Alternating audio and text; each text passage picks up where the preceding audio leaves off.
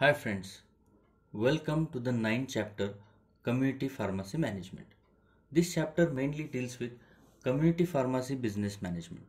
It begins with the introduction and definition of management, followed by legal requirements to set up community pharmacy, site selection requirements, and pharmacy designs and interiors.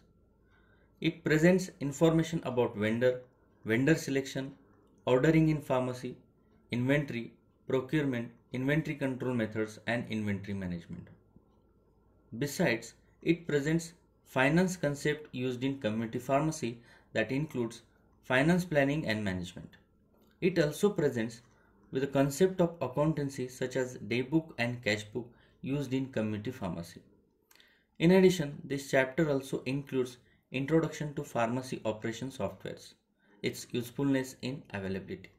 It also includes customer relation management, audits in pharmacies, SOP of pharmacy management, introduction to digital health, M-health and online pharmacies. The objective of studying these chapters are to describe legal requirements to set up community pharmacy, to understand the basic aspects of community pharmacy setting such as site selection, pharmacy designs, vendor selection and ordering, inventory control and management, financial planning and management, and the accountancy.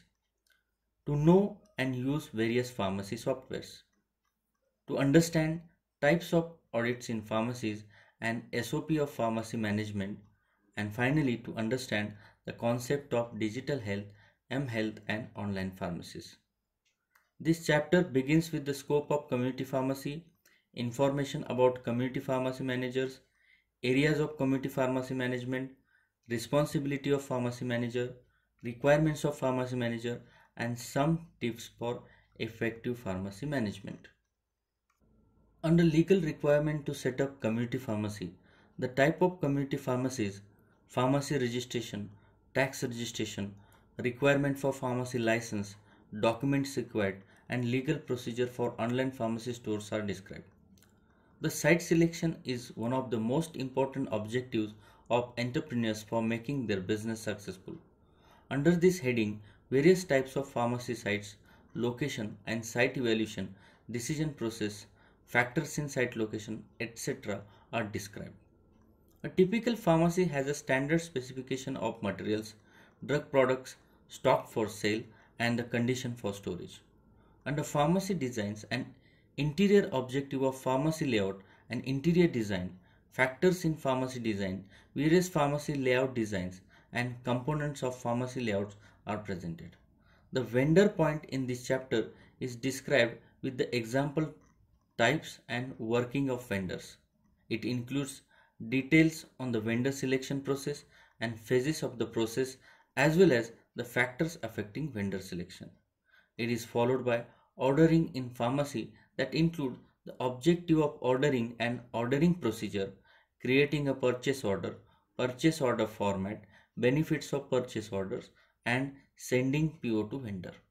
Under inventory, inventory associated cost, procurement process, purchasing, source of pharmacy goods, a system for expired products, destruction of expired drug products, special situation in purchasing, drug shortages, and reordering have been described.